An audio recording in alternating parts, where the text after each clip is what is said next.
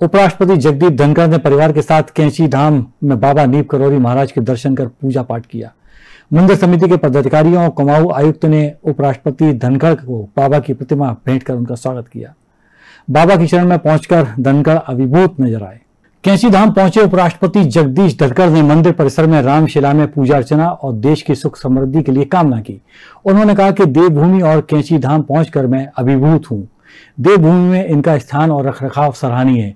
यहाँ आकर व्यक्ति के दिल, दिमाग, आत्मा का शुद्धिकरण होता है, जिससे एक नई ऊर्जा मिलती है।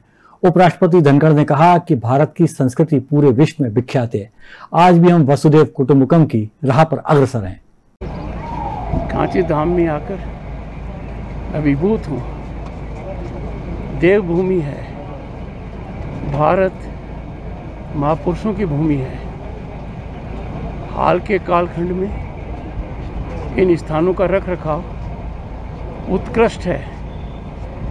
सराहनीय कार्य हो रहा है। नई ऊर्जा मिली है।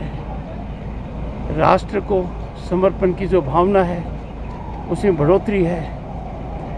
भारत की संस्कृति दुनिया में बेमिसाल है। कोई देश पाँच हज़ार साल की सांस्कृतिक विरासत नहीं रखता है। भारत दुनिया को एक कुटुंब मानता है। वसुदेव कुटुंबकम